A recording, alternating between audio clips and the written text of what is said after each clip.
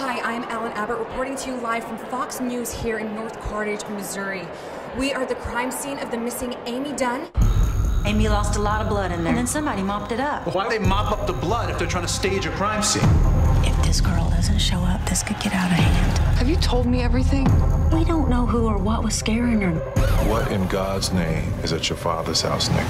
Your wife is missing, and you came all this way. Well, I thought there might be another side to this story. Where's your wife, Nick? You ever hear the expression, the simplest answer is often the correct one? Actually, I've never found that to be true. Gone Girl. I just had my hands on my face for so long. It was so good. Oh, blew my tiny mind. Nothing more I can say about it. It was just really, really cool. Best film I've seen this year, by far. Go see it. It's phenomenal.